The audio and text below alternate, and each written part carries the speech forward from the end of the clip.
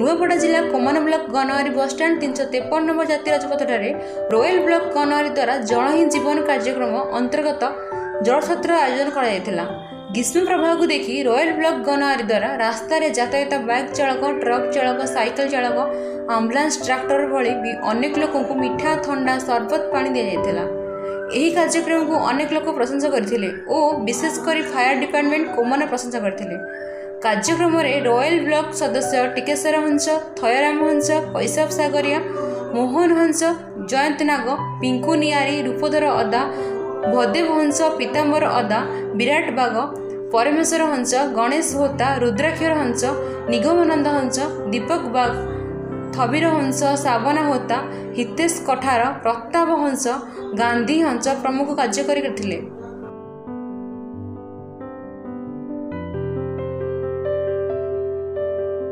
ନୂଆପଡ଼ା ଜିଲ୍ଲାରୁ ଓମ୍ ପ୍ରକାଶ ଅଗ୍ରୱାଲଙ୍କ report ସାଇସତ୍ୟ news.